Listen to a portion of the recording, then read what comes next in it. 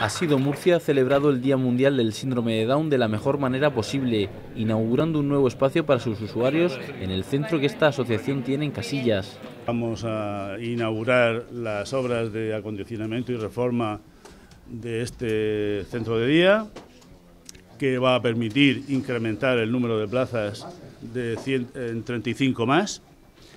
Y es también un día muy especial para nosotros.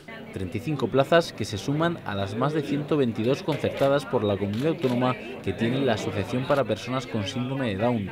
En estas instalaciones, los usuarios realizan diferentes actividades para estimular sus capacidades. Es un centro dedicado tanto a la terapia como a la rehabilitación, eh, a talleres eh, ocupacionales, talleres de arte, terapia, eh, de encuadernación, etcétera. Bueno, aquí los chavales eh, tienen una ocupación digna. Además, aquí también son formados para realizar prácticas en empresas y comenzar su andadura en el mundo laboral para llegar a ser en un futuro autosuficientes.